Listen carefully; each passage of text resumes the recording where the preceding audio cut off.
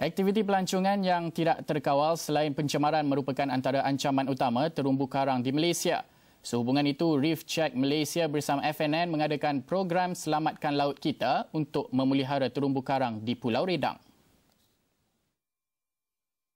Program pemeliharaan terumbu karang dijalankan para penyelam sukarelawan menerusi kaedah membina tapak semayan terumbu karang. Antaranya penyelam mengikat terumbu yang telah patah kepada kerangka yang diperbuat daripada PVC di dasar laut. Sebanyak 30 kerangka didirikan di beberapa lokasi terumbu karang terjejas di sekitar Pulau Redang.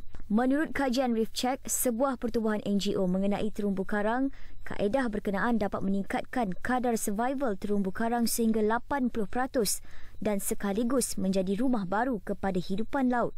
Program ini merupakan susulan projek pemuliharaan terumbu karang yang bermula sejak 2012 dengan kerjasama FNN di sekitar pulau-pulau di Malaysia. Selain aspek pemuliharaan, program lain seperti tinjauan pemantauan terumbu serta program pendidikan mengenai alam laut untuk kanak-kanak turut diadakan.